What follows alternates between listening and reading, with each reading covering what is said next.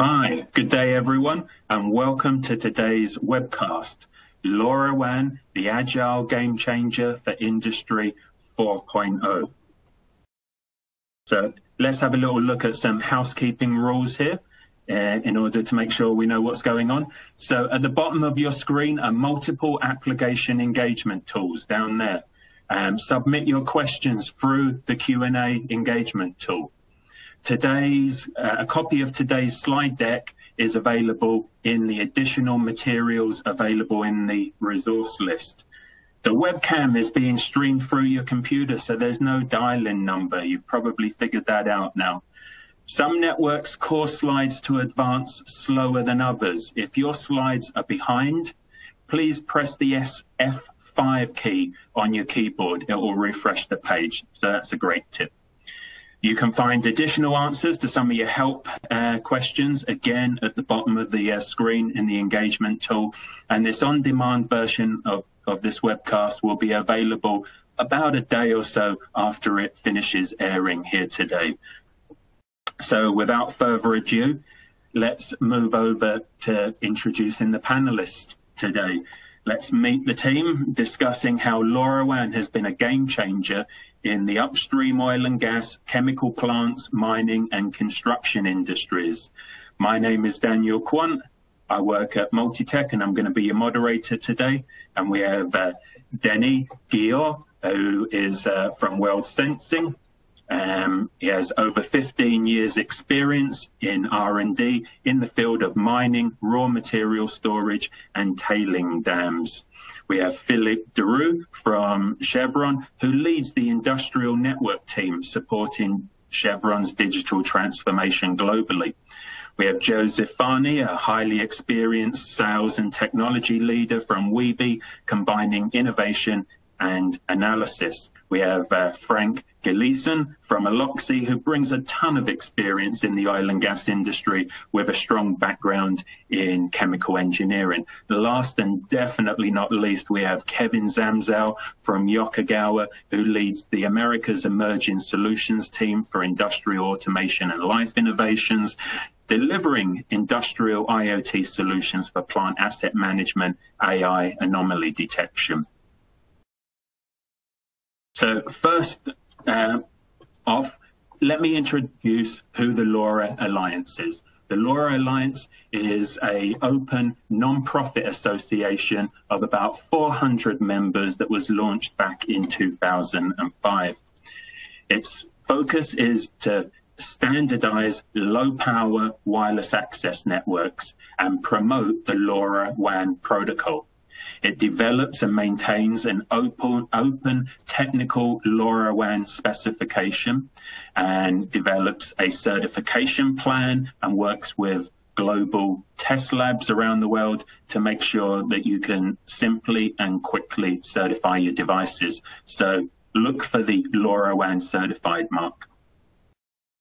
There's a number of different types of membership. Sponsor members are eligible for board positions.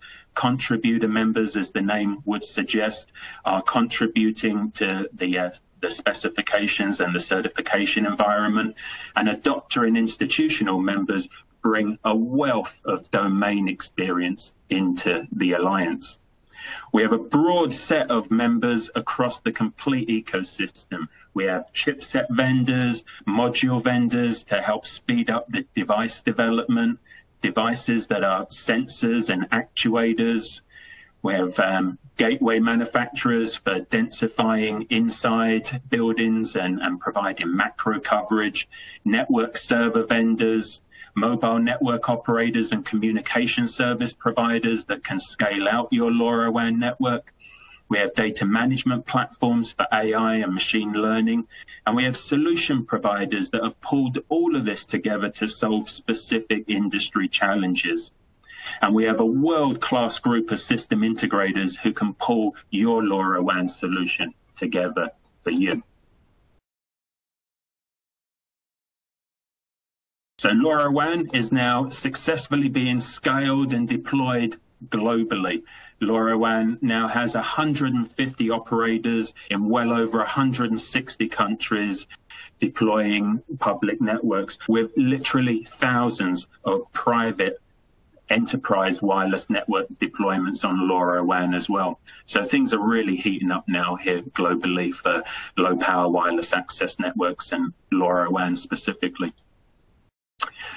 So what is LoRaWAN? Well, LoRaWAN is a low power wireless access network technology specifically addressing low bit rate and long range devices. And these really make up the majority of IoT devices out there. LoRaWAN uses license exempt frequencies, typically in the sub gig range, because that provides the best range. Uh, it provides bidirectional, acknowledged communication in a simple star network topology. So imagine connecting actuators that are telling motors or pumps to turn on and turn off, as well as sensor harvesting. It provides accurate localization so that you can track and trace your assets and people and is um, is low-cost sensors and gateways that are designed for long battery life, long life in the field in very dense environments. Um, fully secure with not not only the network layer, but the application layer uh, using AES 128 and a sturdy RF link budget of well over 160 dB in most regions. Now, you often will hear that LoRa and LoRa LoRaWAN are used interchangeably. This is not really technically correct. LoRa is the physical layer and LoRa LoRaWAN is the software layer that sits above the physical layer and below the application layer often referred to as a MAC layer or medium access control. And this enables a link layer um, adaptation and also coding and decoding of data according to specific channel plans in different regions. Um, also ties into uh, the back end layers and, and we have a, a broad roadmap um, enhancing performance, security, roaming, integration to application protocols, ease of deployment and, and so on. So LoRa, simply put, is the best wireless trade-off between long range, long battery life, low cost and density of connected assets. Your panelists today will provide you with loads of different key performance indicators and flexibility that they found in LoRaWAN and how they were able to integrate and provide the coverage and the security that they needed for their business. So, uh, so you'll see a number of these um, benefits and differentiations coming through here in today's presentation. So this is my last slide, and I wanted to take this opportunity to introduce a new white paper that we've developed at the LoRa Alliance. LoRaWAN, a digital revolution for oil and gas from SCADA to industrial IoT. This white paper deep dives the impact that LoRa has had on connecting underserved and often stranded assets in oil and gas industries to digitize their operations and to be able to reach decarbonisation targets. It showcases the agility of LoRaWAN to deploying greenfield sites, monitoring assets and tracking people. But it also highlights brownfield sites where LoRaWAN can integrate into existing process control networks, even when isolated and on-prem and it explains hazardous zone certifications and which use cases would require those kind of certifications. We have a great insight from a number of the member companies here um, who contributed their domain experience. You can download it from the LoRa Alliance webpage under the industrial vertical market segment. So without further ado, let's hear from Philippe at Chevron about upstream oil and gas. Thank you, Dan. Um, Thank you for the introduction. Yes, um, for us, uh, we really looked at what is IoT, right, and how it can support our environment. Um, and that's the reason why uh, Chevron joined the LoRa Alliance to be able to make sure that uh, we talk to the different manufacturers, vendors, everybody in the ecosystem.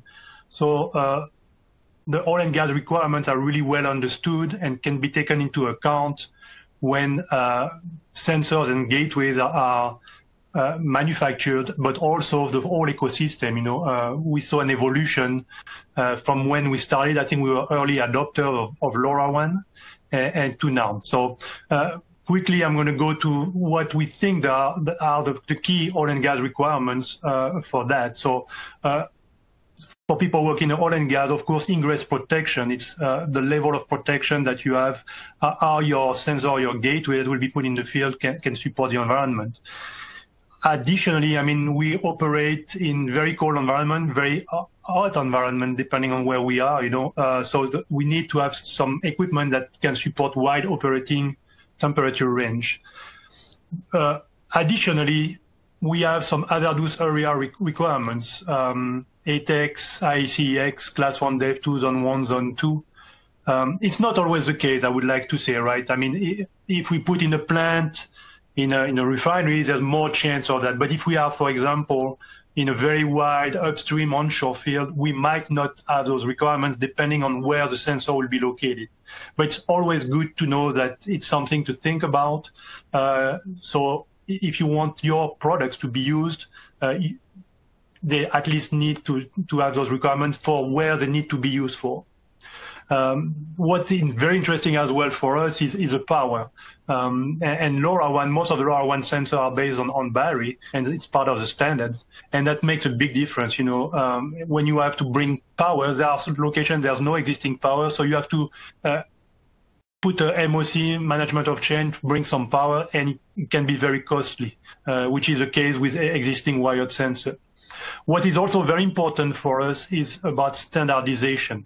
Um, we don't want to, to work and adopt a uh, technology that will be completely changed in two to three years because it's not a standard technology or uh, sensors that are manufactured for this technology now are proprietary and you cannot use them on your full ecosystem. That would be really detrimental to us. We don't want to put a system uh, an infrastructure every time for a different system. I think in oil and gas, we are moving like everybody else with uh, infrastructure uh, as, a, as a standard, uh, infrastructure as a system, so we can really manage the environment much easier. So standardization is very important for us. Uh, with standardization came also the concept of scalability. Um, again, we were early adopter. There were a lot of uh, proof of concept of pilots, but once you arrive at, at this level, what can you do? You know, you need to have an enterprise solution that's scalable. Otherwise, you will do a lot of them, a lot of small proof of concept, but you cannot extend to other business units, for example. Additionally, I mean, some of the requirements for sure are cybersecurity. I mean, uh, I think some of the panel members will talk later on about uh, activities where there were some issue. Um, but you want to make sure that anything you put in the field cannot be hacked and, uh, and malicious uh, activity because again, we are monitoring equipment in the field that uh, you don't want anybody to have access to that can create problem, right? Uh, also, we want to have easy installation, monitoring, and maintenance. Um, again, I think I, I, I, already talked about it about the power, but uh, uh, not only power, but you, when you have a wired sensor or a wired gateway, you need to bring um, those cables to where you need to, to, to, to be able to deliver that. So uh, LoRaWAN help us in that space because most of the sensors are, are battery operated and you only need to, to replace them every so often. So easy installation, you just put them where they need to and, and you just connect to them. Um, and, and, finally, the big advantage of, for us in the IoT space is really about the capex and opex, right? I mean, um, the cost of the sensor we see is way, way uh, below. I mean, ratio one to five, sometimes one to ten compared to no, normal, I would say PCN type sensors. And operation uh, is really less expensive as well because you don't have to put everything uh, in a Pi server or thing like that. And I will talk more about it on the next slide. So knowing all that, I mean, look at the IoT environment. What are the use cases for oil and gas for IoT, including LoRaWAN? Uh, I mean, again, when we started early adopter, we did a lot of testing and a lot of POC with pressure, temperature, location, uh, equipment monitoring. Um, we also did a, a, few a few activity, a few pilot about uh, equipment and personal safety tracking uh, that really help monitor your environment and know where your assets are. Um, also looking at remote site monitoring, we have a lot of uh, hard to reach uh, area, remote shelter where you still want to be able to monitor what's going on, uh, maybe access control as well, see if anybody enter the facility they were not supposed to, where you don't have infrastructure that can support that. Uh, could it be cellular or, or even, you know, uh, microwave? But LoRa support that environment. Um, more and more, we also see we also see, also see a lot of capability in uh, HES, um, really supporting uh, field worker, but also uh, you know regulation like methane monitoring, noise monitoring, thing like that. At the end of the day, you know what we want to do with IoT is really bring more data, uh, valuable data, uh, into our, our environment without having to spend the same amount of money we used to have to uh, to support that. And by doing that and bring all that data to the cloud, now you can do some analytics of preventive maintenance and better understand your environment, be more reactive, and bring it back to your uh, worker in the field that are facing that environment. Again, trying to keep the, the people safe, try, keep, trying to keep the environment safe as well, and do the work uh, the best way possible and securely. This slide is more about what is really IoT for us. Really IoT, I mean, we, if you if you compare it to the Purdue model, you know, at the PCN level where you have level zero to level four, and then you go to the cloud if you want, it's really enabling you to to put equipment in the field and bring that data all the way back directly to to the to the uh, to the cloud where you have your IoT hub and get all that data available in a safe and secure manner without having all the management of change of putting anything at different level in, into your uh, PCN model, right? Um, typically, the, the, wired sensor would be at the level zero. Uh, then you, I mean, that wired sensor, you need, it's wired, so you need to put at minimum power and, and, you know, RS485 or Modbus or what type, whatever type of protocol you have to talk to it. It goes to your PLC at the level one. Now you need to reprogram your PLC to take into account your wired sensor. Then you have you have the local touchscreen. You go to the control room, HMI, all that. Every time you add a few sensor, you add more to your environment, and it, every time it's adding, uh, you know, more equipment, you pay for it. Uh, and also you need to make sure it has to go to all that firewall. So it's, it's not only, a, uh, it's automation, it's a PCN, it's network team, IT, OT team, all, all those teams are involved. And, and it could be a very inexpensive sensor, but at the end you really arrive at a very expensive product. Um, and, and so for us, IoT is really leverage for uh, being able to remote monitor the environment, get the data you need when you need it, and be flexible and scalable about it. Uh, uh, and being able to get that data where you need at, at any point. So we, we wanted to present uh, today uh, uh, what has been done. So this project was for our San Joaquin uh, Valley business unit where they were an early adopters and they really leverage uh, uh LPWAN technology through a LoRaWAN, low power wide area network to to get data that they didn't they, they needed before to send people and get manually uh, that data. So you can uh, you you don't really see the scale on that picture, but it's a very very wide area, uh, and and you had to send crews to go uh, every month and, and get that data. And sometimes if you missed a few days, you would not get the right data and you would have to readjust. So uh, there was a big, big advantage of, of for us to move into LoRaWAN, uh, again, because of the long range characteristics that Dan talked about earlier, uh, about five to eight, 10 miles, depending on the, on the terrain. Very low power. Again, you, we use battery and very low cost. You know, uh, the only issue that we had at the time is, is that we were early adopters. So uh, there was no really uh, sensor that we could deploy that was already available for us. And, and so this is why, I mean, the team had to kind of create their own sensor, design it, and we don't want to be in that in that model, right? We want to partner with the with the manufacturers and the vendors to better understand and make sure they understand what we expect from them. So this was really what we we looked at, uh, and uh, a lot of the technical summary there I'm not going to talk about because I already mentioned them. Um, so here is an example of what we, we've done, right? We put a, a LoRaWAN sensor on top of a, of a tank and give you the, the, the tank gauging and, and a, a, little box. You send the, the data to LoRaWAN. Um, we use cell modem at the time to send back the, as a backhaul. Uh, but we are looking at different ways to do that. You don't always have to use cell modem if you have an existing infrastructure and, and the capability to secure it, uh, maybe through VLAN or VRF, you can you can do that. But for the, for the San Joaquin Valley, I mean, it's a very very uh, you know good experience. There was more than 30 Multi-Tech LoRaWAN gateway and a total about 3,000 sensors that were deployed and still active nowadays. So it's been going on for three years. We are now moderni modernizing it. Uh, and it's a good example of what LoRaWAN can bring for, for, for your environment. Uh, equipment that you could not monitor in the past, now you can do it at, at a very good price point, uh, and, really support uh, the film. So um, I think we can now move to uh, uh, Kevin Zamzow from Yokogawa. He's going to give you more detail on, on what uh, they provide for us, for example, and for the oil and gas industry. Okay.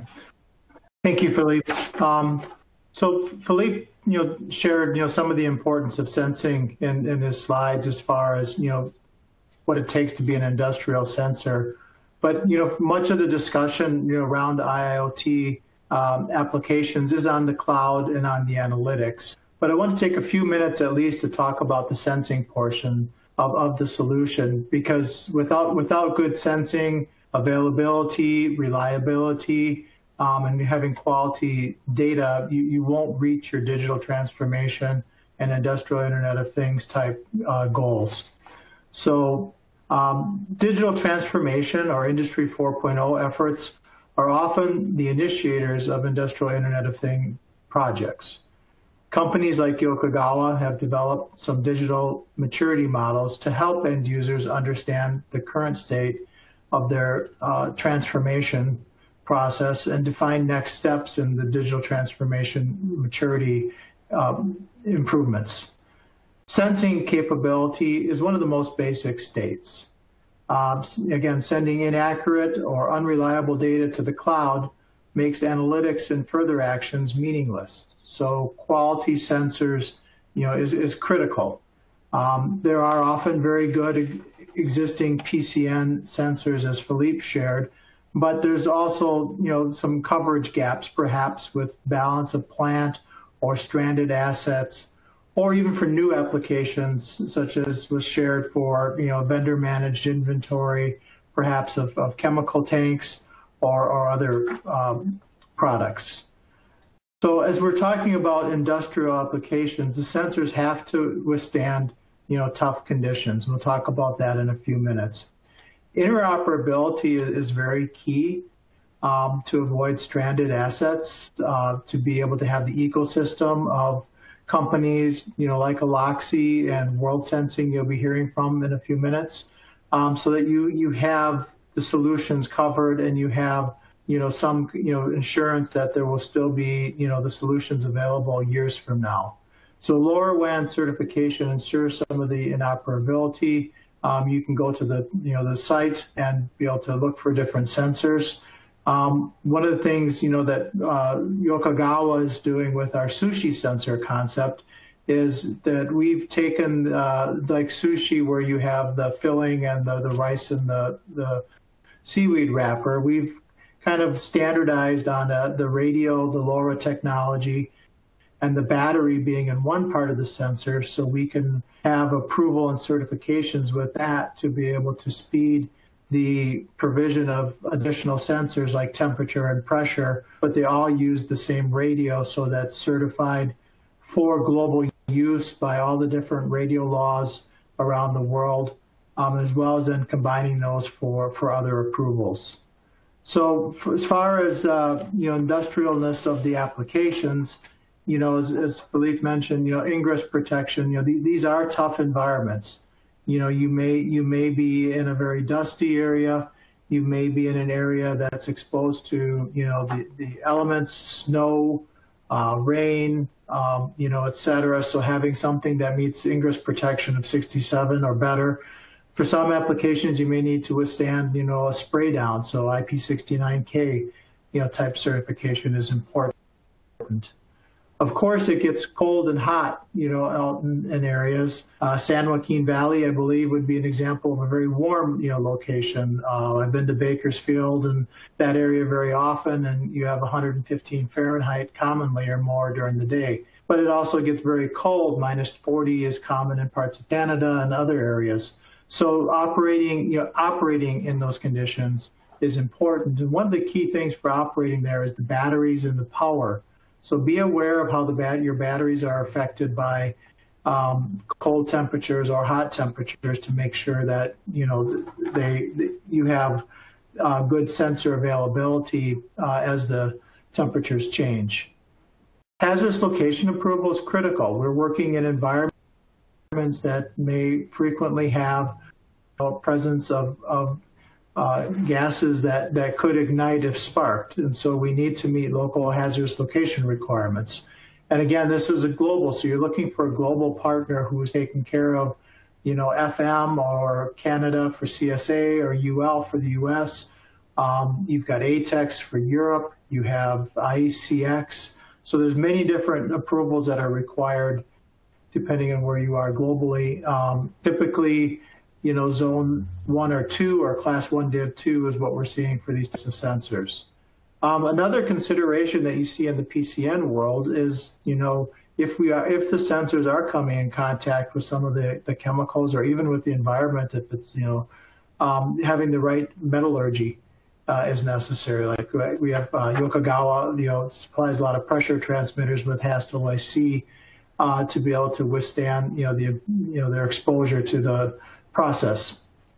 Um, and then lastly, what I wanted to you know share is that you know connectivity to the cloud is is often one of the, the end goals, but there's also local connectivity requirements that we're seeing request, whether it's to local control systems, local displays, you know, et cetera. So being able to support industrial protocol translation, for example, to OPC UA might be through the gateway type application or some other type of translation box. But the sensors, you know, understanding how to take the data from them and translate that, you know, into a, a common industrial protocol um, is is very important. So, uh, you know, again, this is, you know, one of the key areas is you know quality sensing. It all it all starts, you know, if you want to get to the destination, you need to start with good quality sensors. So um, with that, I'm, I'm going to pass it uh, over to uh, Joseph, and uh, he will uh, share some of the next information. Thank you, Kevin. I appreciate the great insights you provided. Awesome work to you and the Yokogawa team. Hello, everyone. It's an honor to present to you all from across the world. Thank you to the LoRa Alliance for inviting myself, myself and Webee uh, here today. So for those of you who do not know me, uh, Daniel gave me a slight introduction. I'm Joseph Farney, the head of sales and business development here at Webee. Uh, quick overview on Webee. We're disrupting the IoT space with our end-to-end solutions and our industry-leading IIoT SaaS platform, all while leveraging uh, the global LoRaWAN network. So today I want to talk to you a little bit about uh, some of the challenges we're seeing uh, in the oil and gas vertical. So uh, let's get direct insights from the voice of our customer uh, and some clients, global uh, organizations in the oil and gas uh, sector. So oftentimes when taking on an IIoT project for a major corporation, it can often feel like a very daunting task and it can be hard to find the right place to start. Uh, you heard great insights earlier from Chevron, from Yokogawa. Um, what I always tell customers is focus on the challenges your business is trying to solve for today. Where can you make the immediate impact by installing technology to solve your uh, challenge that you have? so As you can see on the screen here, there's multiple challenges that the uh, sector faces, the companies face. Uh, a couple that stick out, I'm not going to read them all to you, but uh, you know, needing to monitor assets in remote locations, right? Oil rigs, machines, tanks, pipelines. There's multiple different processes from upstream, midstream to downstream that all require digitization uh, technologies.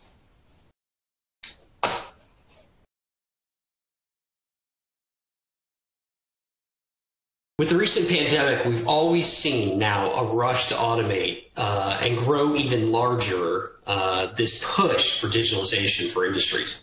So, as I mentioned before, taking on these initiatives and projects uh, for companies with legacy infrastructure, legacy systems uh, can really seem challenging in more ways than just finding a way to start, like you saw in the first slide, to now taking on how are the implementation challenges going to affect you and your organization.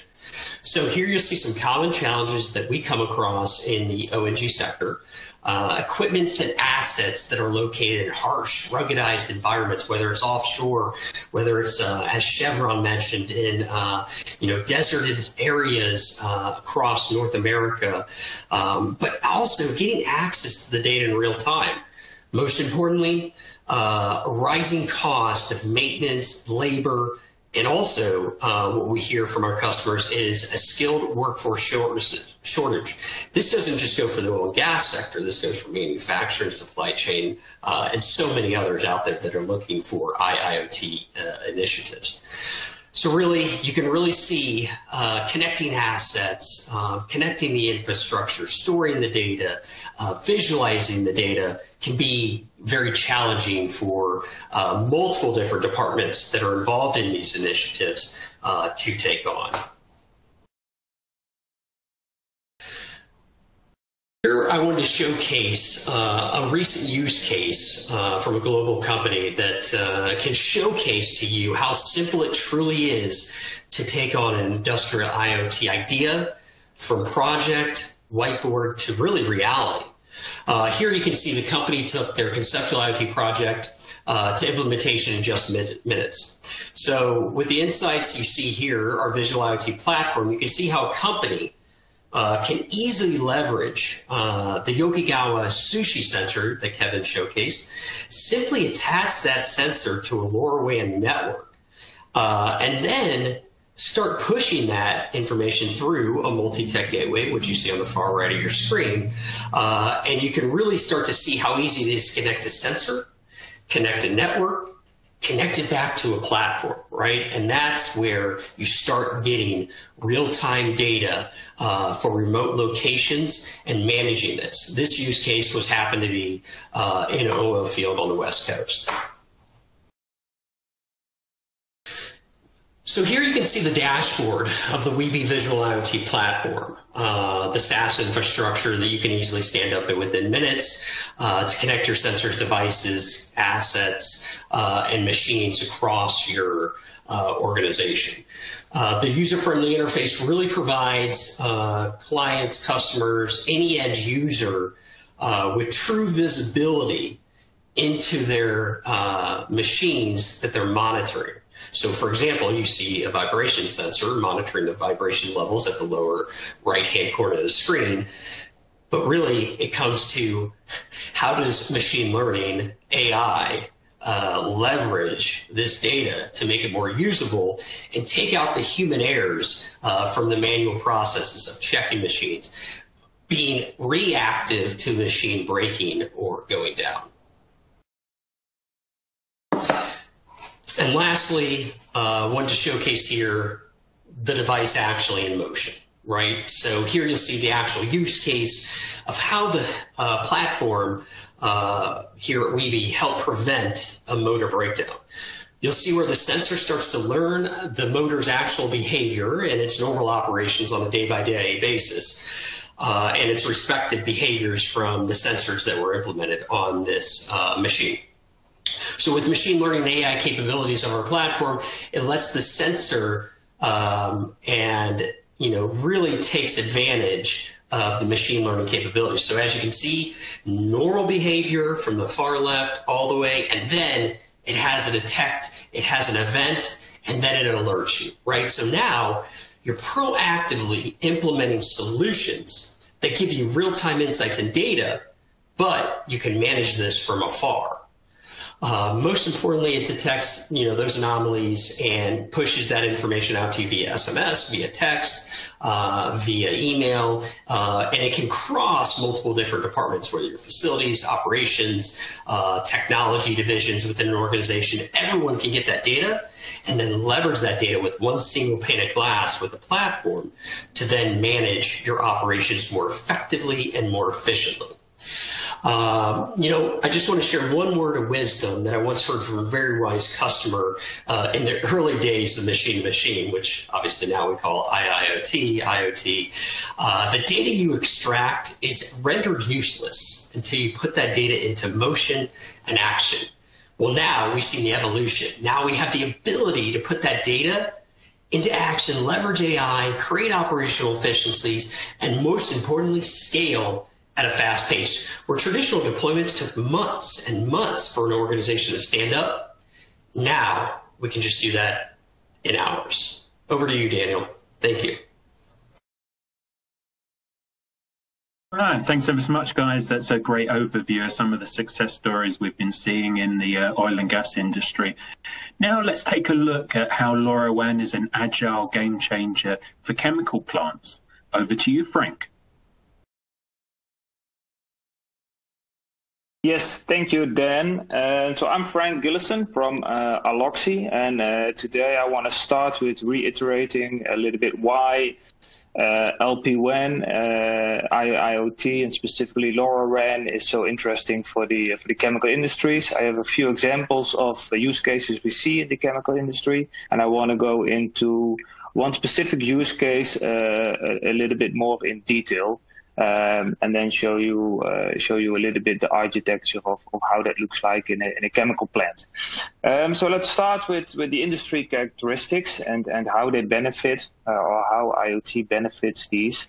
Uh, so first of all, we see that it's, it's a very asset-heavy industry. It means that, that there's a lot from everything. There's a lot. There's a lot of pipes, a lot of vessels, a lot of valves, a lot of pumps. So obviously, um, because of IIoT and LPWAN operates at low power, the sensor price is relatively low cost, and therefore the high numbers do not have a, have a direct uh, huge impact on the on the investment. Uh, we also see that the the sites uh, that are covered are can be really big, like Philippe showed. But even a, a typical refinery or chemical plant is a relatively large area for a wireless network. Because of the characteristics of LoRaWAN, it can be covered by by a relatively low number of uh, of gateways. So the infrastructure cost uh, is also relatively low. Then uh, the security demand that was already mentioned by uh, by Chevron, and obviously LoRaWAN provides provides in that. Um, and we see in the chemical industry a lot of, let's say, mechanical equipment, so uh, valves that are manual valves, or pipes or vessels that typically have no electronics or switches attached, so they are a blind spot in the in the field. Uh, so there is uh, a lot of use cases and a lot of data to be gained. Um, then there is a, there's a, a, a high focus on uh, on, on, certification, uh, robustness, and and typically the, uh, the the existing technology is quite costly, and again, uh, the, the, the low power sensors can uh, can can be a real game changer in that. And finally, uh, yeah, we, we don't have to say that it's very expensive to wire uh, in a brownfield area. So the, the wireless connection really uh, can can make business cases or use cases that were uh, impossible before make that possible with the, with this type of technology.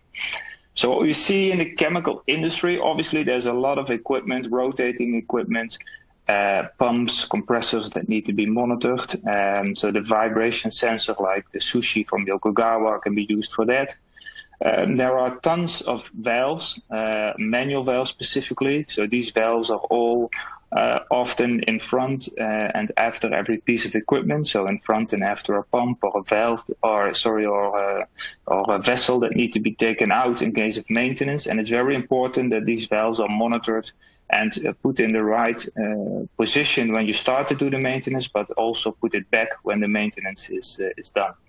Um, valve monitoring can also be used to guide operators in switching. So during a lineup or uh, in a chemical plant in a, in a batch process where they switch from one uh, product to the other, uh, it needs to be monitored correctly that all the valves are in the right position before uh, the switching uh, and, and the, the, the, system is reactivated. And um, historically, the, this, this, is always done by manual uh, checks and doing this now digitally increases efficiency and safety significantly. Um, so temperature monitoring also one of the Sushi sensors can do that is also um, used in the chemical industry to detect a material, for example, uh, on heat exchangers, vessels, pipes, uh, with a, with a surface monitoring of the of the temperature, you can already gain a lot of data.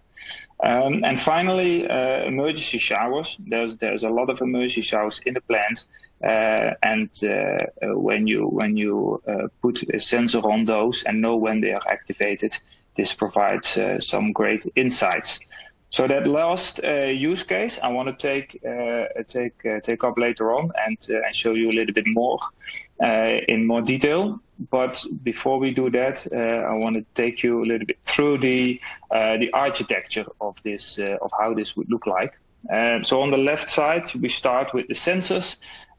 in this example, the Aloxy valve position sensor, the emergency shower sensor, the Yokogawa sensor. I mean, any type of sensor uh, can be connected.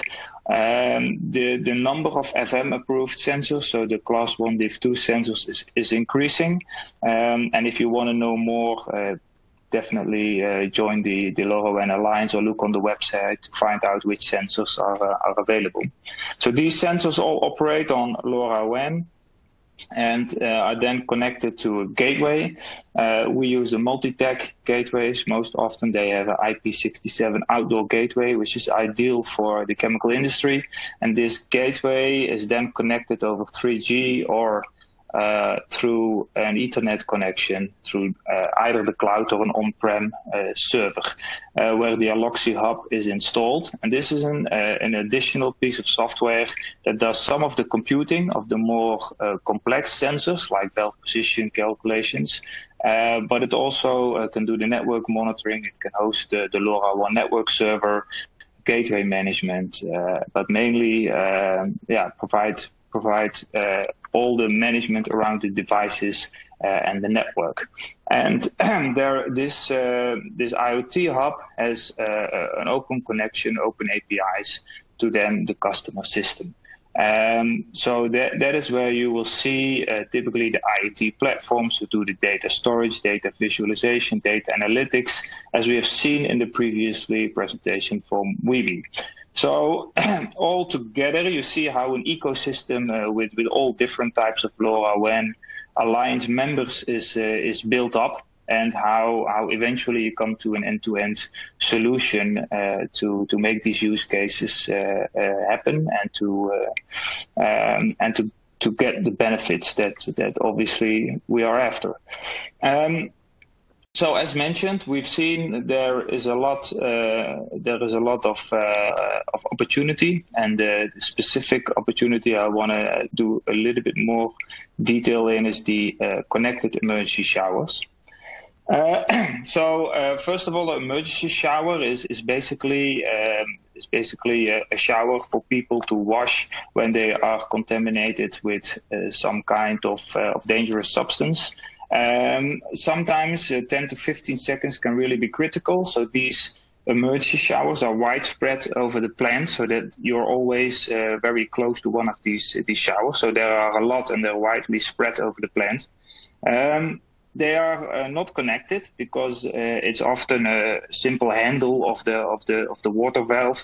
Uh, so it's it's it has no connection to the control room or to any system. So it's a blind spot whether they are used or not, or whether they are on or not, whether they work.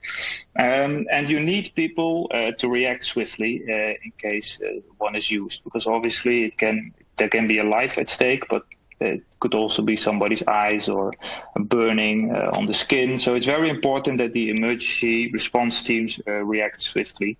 Um, and then finally, there is a they need there's some law or law regulation behind it as well to inspect it and to open it frequently. Um, OSHA is, is, is doing some uh, serious fines on when the equipment fails. Uh, but also uh, there are some ANSI uh, regulations on, on to operate these showers on a weekly basis actually. Um, one of the reasons obviously to, to prove that it works correctly, but also to prevent Legionella bacteria to build up in the in the pipelines. Um, so this is a little bit uh, why that shower uh, is so important and, and why it uh, it could be connected. Um, so what we have done is that uh, the handle that I was referring to, that, that basically opens the water to the shower, uh, is provided uh, with an Aloxy sensor, which monitors the movement. So once somebody pulls the lever down, the handle moves 90 degrees and, and our sensor will wake up, record the movement and send it uh, through the ecosystem as we just seen to the, to the, to the backend. The whole ecosystem might look a little bit complex, but actually the, uh, in, in the, the, proof of concepts we have done, uh, it's, it's, it's a few seconds uh, latency. So it's really a real time alarm that you get in the uh, in the um, uh, in the control room. Well, first of all, you can have immediate response times. Uh, of the teams that need to go there. Uh, but you also have automated incident reporting. So there's a timestamp of when the shower is used, and this could be the trigger of a, of a digitalization project where you then time timestamp and generate an uh, an incident report. Uh, it also uh, generates automatically, or could gener- uh, could be the starting point of of, uh, of a reporting uh, of an inspection uh, reporting um, plan. again, it is time stamped, so if you want to have a, a weekly opening of of, of a hundred different showers, how do you how do you capture that in an Excel sheet? Well, this is again a digital transformation project you could do, and uh, and it starts with the, the this timestamp of when the shower and which shower was exactly used. Um, and of course, uh, if the, if the lever uh, drops down, if the shower remains open, if it's broken, that is also uh, detected by the by the sensor. So uh, there's some additional uh, cost saving in, in terms of of making sure your sensor your showers are always working. So uh, initially, uh, a lot of uh, big safety um, advantage, but again, also a lot of efficiency gains to get here. Um, so um, to um, to show you a little bit that this is not just the, the theory. Uh, we we see uh, these use cases come back with different customers. Uh, we see different type of architectures ranging from private cloud to public cloud to on-premise solutions, and there's there's different proof of concepts and trials going on at uh, at large oil and gas and chemical sites already. So um, it's it's definitely something that is full in motion. Um, good. So thank you, and uh, back over to you, Dan. Yeah, thanks, Frank. Uh, great examples of stranded assets now economically connected improving cost efficiencies and workforce safety. So thanks for that. Right, over to you, Denis, to discuss the impact of LoRaWAN in mining. Thank you. So one of the characteristics of the mining industry is that it's very dangerous, right? Um, one of the last tailings dams failures that happened in 2019 killed 270 people, and that's only one event. And unlike uh, what most people could think, these events are because the serious and very serious uh, category of these events is increasing in the last few years. So more than half of the events that happened in the last century happened in the last 30 years. This is why we want to present here a solution regarding the tailings dams themselves. Tailings dams are one part of the mining industry. Uh, basically, the mining process starts with the rocks containing the minerals and the metals. Once they have been mined and the, uh, the minerals and the metals are removed from the earth, uh, the rocks are finely ground and they're mixed with waters in order to separate the minerals and the metals. But designed minerals and metals are what is actually of value for the mining industries, and this is removed from the whole um, the whole material, and the remains, which are slurry, are known as tailings. And in order to store these, we build tailings dams and uh, create huge ponds in which these uh, these materials are being stored. The event I was telling you about was the failure of uh, one of these tailings dams, and this is a picture of it in Brumadinho in Brazil. The failures over the last 100 years, they have led to a cumulative loss of about 3,000 people. So this is a very important aspect. The, the, the, the breakage in Brumadinho costs the, the company, or the mining operator company, about $7 billion so this is something that really has a big impact on the companies themselves. And um, a recent survey showed that about 1 to 2% of these tailings dams in the world are sufficiently monitored. So many of them, whether they're active or not active, are not being monitored because they are of no value to the mining companies themselves and they are built in a progressive ways. So they are really getting towards their limits. One of the solutions that are being used to monitor these places are in-ground sensors, and they can be monitored. Uh, they can be used more and more to monitor these uh, these structures to ensure uh, better safety. The in-ground sensors enable the implementation of actions.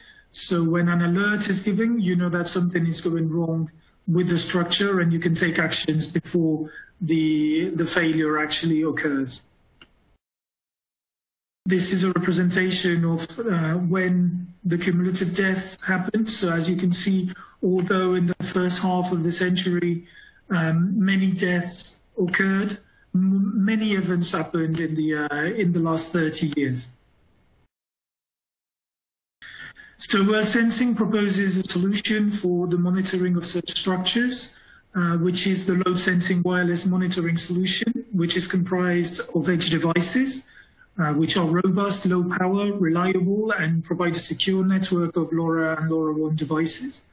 And they're compatible with a wide range of geotechnical, geospatial, and structural sensors to be placed in situ to monitor the structure. And there is a second aspect of the solution, which is the connectivity and network management part, where we use a star network topology with LoRa, longer range, not affected by radio signal obstructions, and we do not need repeaters or network planning. This is not critical path dependent, so if a node fails, all the other nodes uh, still communicate with the, the central point. And the device and data and network monitoring software can be used as well as a configuration mobile app to make the solution simpler. And we can review and manage the network itself to know when something is going to go wrong or to know when something goes wrong with the communication aspect. There are two embodiments to our solution, the, the, the cloud version, CMT Cloud, where we have wireless data loggers that collect the information from the sensors and use long-range protocols to send the information to multiple gateways. And the best gateway at that time sends the information over Internet Protocol to the CMT Cloud, where we store the data and manage the network. And through API, MQTT, and different ways of connectivity, we can pass the information to third-party software for the end user. The other embodiment is a CMT Edge, which is used mainly for installations where people do not want uh, anyone to be able to get access to their information, so they have um, a better safety feature but uh, they do not have the same functionalities, although they can um, get all the information and also visualize it all in third-party software.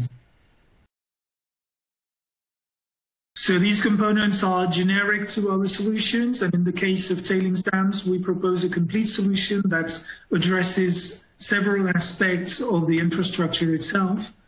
For instance, one of the problems is when we have unstable tailings dam walls, because of the soil stress.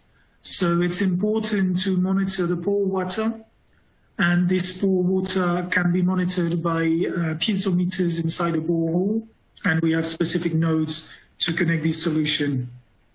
Another part of the solution addresses the problem of unstable tailings dam walls due to the ground movements. In this case, the horizontal displacement must be monitored and in-place inclinometers are usually uh, the best solution.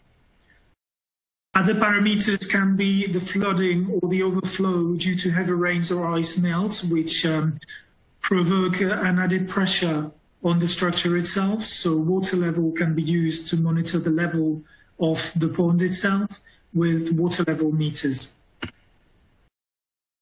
Flooding or overflooding due to heavy rain can also be monitored through rainfall monitoring, and rain gauges can be used with, uh, with the solution.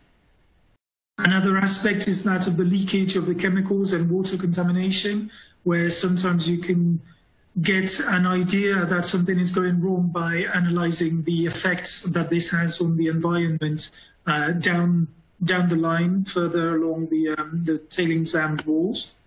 So movement across surface cracks can be used and crack meters can help detect whether there is a leakage of these chemicals and water uh, contaminants.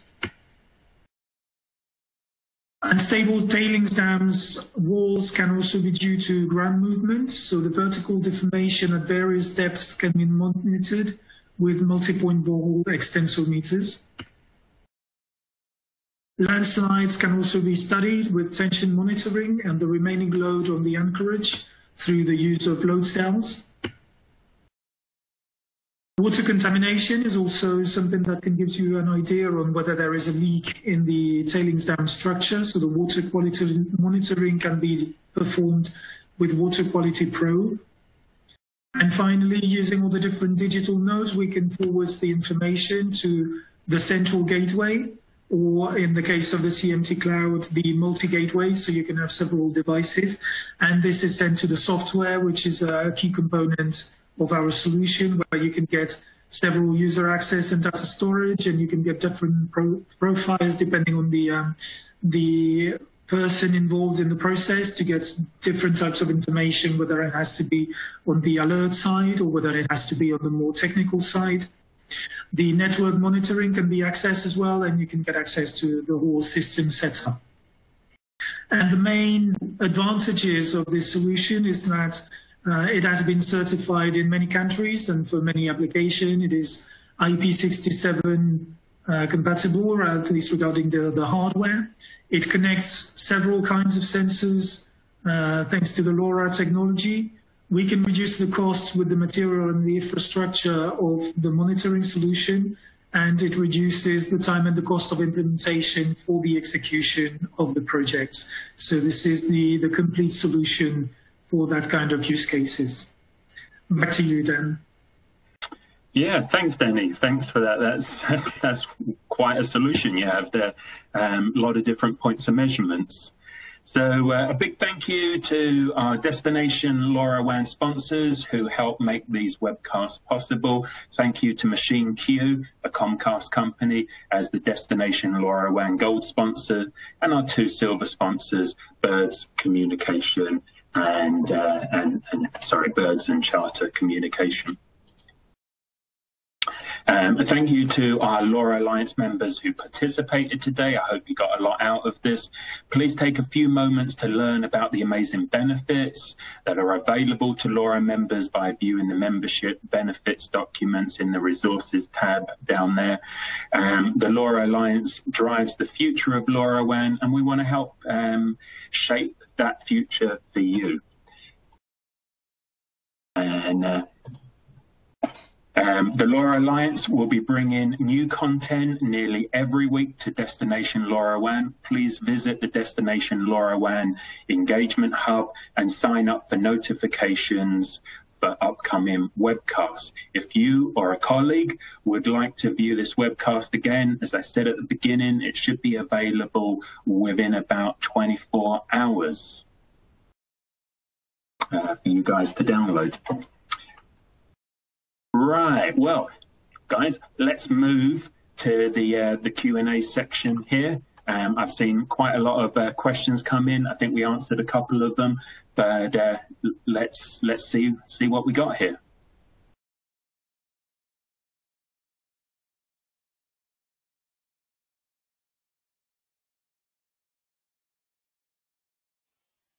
Right, let's start having a little look at some of these questions here. So I'll start off with a fairly simple one here. Um, thanks, Rosario, for this one. Um, what's the range of a LoRaWAN gateway in terms of kilometers or, or miles? So, you know, we've all heard of, uh, you know, communication from outer space, hundreds of miles range, looking down into valleys from tops of hills, you know, at 15 plus miles, um, on top of antennas that are, you know, way up on TV transmitters in flat open countries, you know, going for 20, 30 miles. But, uh, but Kevin, give us an idea what you tend to see in more industrial environments, real real life environments. So thank you, Daniel. It really you know depends on the environment. So if you're in a uh, refinery or chemical plant, you know, with vessels and significant amount of piping, it's you know best practice to put the gateway antenna at you know as high up as possible to be able to see down through the pipes and the and work around some of the other obstructions. So, you know, typically we could see a kilometer or, or, or more. It, you know, there's a very we're able to work with a very uh, weak signal and have great results. So, um, the the coverage tends to be very good if you're in an outdoor environment, you know, where there's, you know, few obstructions, few trees, et cetera, you know, you, you could get five to 10 kilometers if you have the, you know, the gateway antenna at height. Um, you start needing to consider, you know, the paths of the communication from the sensors if they're fixed to the, to the antenna height to make sure there's not a hill or something in between to block that path. So consider a path study or something. Right. Well, thanks uh, for that, uh, Kevin. And, bear in mind, uh, a kilometre in a refinery or a chemical plant. I mean, that's huge. With all of those liquids moving around, all of that metal, the sheer amount of communication going on in that 900 meg or 800 meg band in in Europe. Um, I mean, that's that's pretty stunning. We also had another question, also from Rosario, that that links well to this, which is you know, don't you get saturation in the end? Don't you end up having so many devices out there um, that it that they all cause interference and and it's very difficult to connect to those assets. So, Philippe, maybe uh, this one's a good question for you. You know, those oil fields that that you you guys are building up and managing. You know, they're pretty noisy environments with a lot of different technologies in them. Yeah, thank you, Dan. Uh, yes, I mean, we see, uh, we always have to make sure we understand uh, the interference and the noise level, right? The big advantage of LoRa is really built on a sturdy link budget, right? And so you have a good receiver sensitivity. And so you don't transmit a lot of data, but you transmit um, data that is needed uh, um, and not all the time. So it's really leveraging and, operating the in the frequency and in the uh, ISM band the best way possible from what we saw.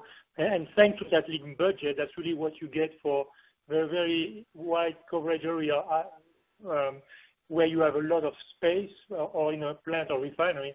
That's what we were talking about. That, also helps penetrating metal and being able to go further than any other technology for the time that we saw for the time being. So um, you always have to be aware of other other um, noise and other uh, frequency being operated, but really, really the, chip uh, and the way the spectrum is used for LoRa uh, enables uh, a good way of transmitting data. Right, thanks for that, Philippe. Um, Mohammed, uh, you asked about um, information on deployment of LoRaWAN gateways. Um, I think if you go down to the resources piece in the engagement tool at the bottom, I think it's in there. Um, there's some information uh, in in there uh, around actually the deployment of of Chevron that might be interesting for you there. Um, so so we got an interesting question here um, about the delay, right? Um, LoRaWAN is near real time, um, but it is not millisecond latency. And so is a delay of 0.4 to 0.8 seconds, is, is that tolerable for an industrial setting? So, uh, so Philippe, you want to start that one for us?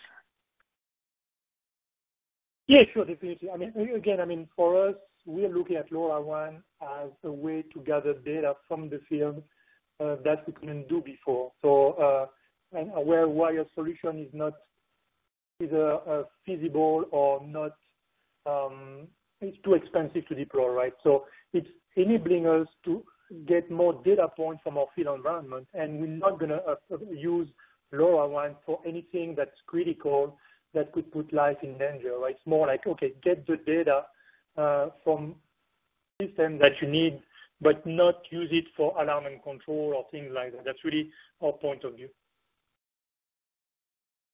Um, Joseph, you want to come in on that um, with respect to um, AI and intelligence of that data? Do you need that data, you know, in millisecond latency? Yeah, great question, and uh, thank you for that. You know, what we see on the software side and, you know, integrating sensors, uh, a lot of times in the industrial IoT space, especially in connecting legacy assets, that are usually uh, a part of a manual operations to where someone's, let's just take an example of checking a machine, you know, two times a day.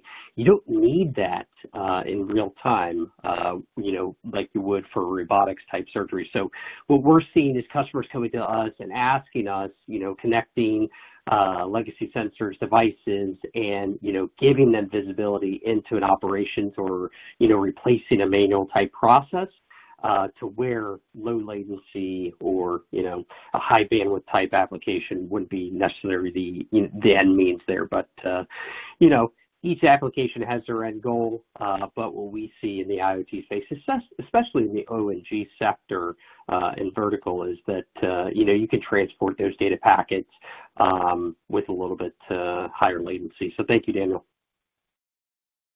Yeah, uh, thanks for that, uh, Joe. So this one goes out to you, Frank. Um, you've got a lot of experience uh, certifying devices. So um, does LoRa frequency from the node to the gateway get affected by the hazardous zone?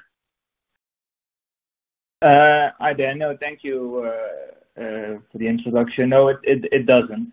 So it's um, no, it does not at all. So uh, Obviously the devices that are used inside the zones need to be certified to be used in that zone. So In Europe, ATEX, uh, in the U.S., it will be Class 1 Div 2 or Class 1 Div 1. Uh, and Once the devices that are certified to that certification, they will be tested, obviously to not affect any of the other equipment in those areas. So, so on that note, then, when is LoRa certification a must uh, for sensors? Um, perhaps you can answer that from uh, a regulatory perspective, um, from an industry perspective, and then also from that hazardous zone perspective. Um, yeah, I think the LoRaWAN uh, certification itself is a must when you when you look at the uh, uh, at, the security and about the interoperability of the whole ecosystem. So if everything works according to the LoRaWAN standard, it all connects and works works very well together. And uh, yeah, I, don't think it really affects the hazardous uh, aspect because that that's really a separate certification. But I think mainly the security aspect of uh, of it is, the main the main point. Right. Okay. Um, so, um, um, Denis, um, do you want to also um, comment on the challenges or the um, the, need for certification. How, how, do you do you have specific certifications that are specific to the mining industry that are on top of um, interoperability and regulatory compliance? Yes, in most cases, we need to adapt to the certification of uh, specific countries and also to the regulations. For instance, because of the incident we referred to or the accident in Brumadinho, uh, there are new regulations in Brazil that um, that were installed last year, and we have to comply with that. And then there are specific certifications such as the Anatel in Brazil, but um, many countries have specific uh, regulations which we have to comply with indeed. Right. Okay. Well, thanks ever so much. I think I'm probably going to have to end here as we're we're coming up with this last question. Is there a clear benefit for using MQTT protocol between the gateway and uh, and the servers? So uh, I'll ask that to a few of you, but uh, um, Frank, you want to kick off with that one? MQ2, MQTT between gateways and servers? Uh, yes, I think we, we, we see different uh, we see different protocols being used. I think MQTT has a high scalability and reliability factor. Um, but it yeah it really depends probably on the characteristics that uh, of, the company that that does the implementation what they prefer. To my knowledge, MQTT is mainly scalability and reliability of the connection. Uh, Kevin, um, you want to jump in on on that one as well? Sure. MQTT to the servers. So, so what I would add, you know, there as well is, you know, the benefits of the, you know, publish subscribe nature of the MQTT brokers and systems to be able to direct the, the data and participate, um, you know, at, various um, end, end user nodes, whether it's in a cloud or something on premise. Um, you're, you're able to, you know, then direct the data and, and respond as necessary is another benefit. And, uh, and and I guess we'll finish up here with uh, Philippe. Um, you want to weigh in on on your experience and opinions with MQTT? Yeah, I mean, uh, it goes back to what I was saying in my presentation. You know, uh, MQTT is kind of a standard protocol for IoT uh, data transmission. So uh, again, uh, for us, using standards is really helping us. Again, and I think it was also mentioned, it helps us scale uh, tremendously. So this is our point of view. I mean, trying to really leverage all different type of standards that we can, we can use in our environment. We don't want to have a different protocol for each services, right? It's the point is to be able to transmit the data the best way, securely and reliably. Right. Thanks, uh, Philippe. Uh, we also at MultiTech, we've we've mm-hmm. seen definite benefit in using MQTT, particularly on-prem, where there's a lot of isolated process control networks that are not connected to cloud platforms. They're very local systems, and and that gives you the versatility to subscribe and publish data between assets coming in on LoRa um, into other systems. And it also enables you to inject data higher up into the stack so you can bypass uh, a lot of SCADA systems uh, or, or the lower layers of those Purdue models in those SCADA systems. So, so definitely MQTT is picking up in um, popularity, and there's uh, other standards now um, moving ahead uh, based on that, like Sparkplug B, um, which is something Ismail, that you might want to take a little look at Sparkplug B. Right, well, thanks ever so much. Um, we're about 10 past the hour here, so it's been um, a great webcast. Um, a big thank here to everybody who was uh, on the panel, uh, Denis, Frank, uh, Joe, Philippe, um, and, uh, and Kevin. It's uh, been a pleasure having you here today. Thank you, everybody, for turning up. And I also wanted to say a big thanks to uh, John Polly from Chevron, who put a lot of work into the uh, white paper and, and really helped um, um, bring a, a, lot of this technology through here in, in this oil and gas space in Chevron, along with uh, Philip and his uh, team there. So thanks, uh, John. You'll be missed. And uh, to everybody else, thanks ever so much uh, for being on the uh, on the webcast today. I look forward to um, seeing you all at events soon.